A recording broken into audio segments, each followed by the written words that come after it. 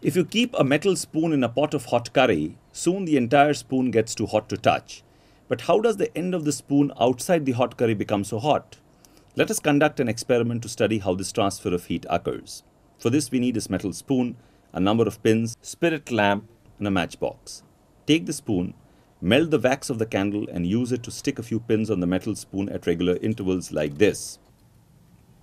Now light the spirit lamp. Place the flame at the free end of the spoon and observe.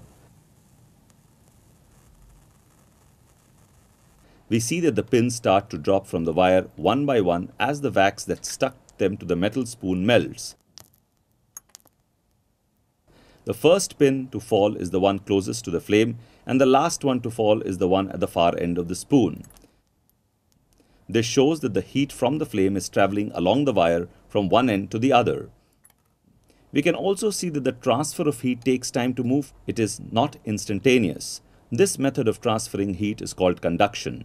Conduction is the transfer of heat without any movement of particles in the object. It occurs only in solids.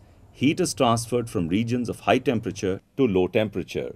Do you know all metals are good conductors of heat?